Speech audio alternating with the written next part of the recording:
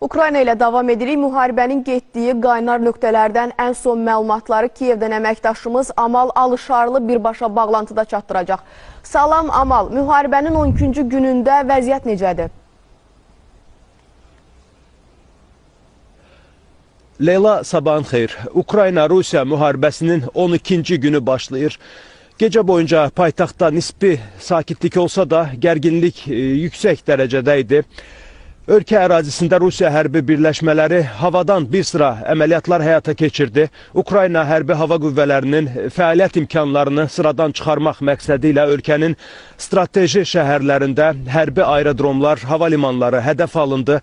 Vinitsa şəhərinə düşən raket zərbələrini bu mənada xüsusilə qeyd etməliyik. Orada e, hərbi aerodromun vurulması nəticəsində şəhərdə ciddi dağıntı və fəsadlar var. Xarkov şəhəri növbəti dəfə e, intensiv atışlara, atəşlərə zərbələrə məruz qaldı. Xarkov ümumiyyətlə tarixinin ən qaranlıq günlərini yaşayır. Bu arada raket mərmilərindən biri Azərbaycanın e, Xarkovdakı fəxri konsulluğunun yerləşdiyi binaya dəydi. Binada yanğın oldu. Hazırda oradakı konsulluğumuz tamamən yararsız vəziyyətdədir. E, ümumiyyətlə statistikaya görə son 11 gündə e, Ukrayna ərazisinə müxtəlif ölçülərdə 600 raket atılıb ki, bu da 364 mülki şəxsin həyatına son qoyub. Onların arasında təəssüf ki, soydaşlarımız da var. Soydaşlarımız demişkən təxliyə məsələsi gündəmdə əsas maddələrdən biri olaraq qalır.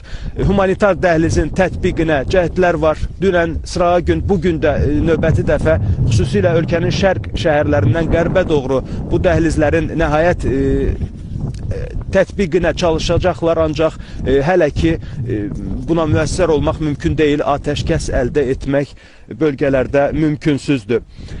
Hələ ki ölkədən e, çatdıra biləcəklərim bunlardır. Müharibənin e, danışıqlar e, müstəvisində növbəti raundun keçirilməsi gözlənilir.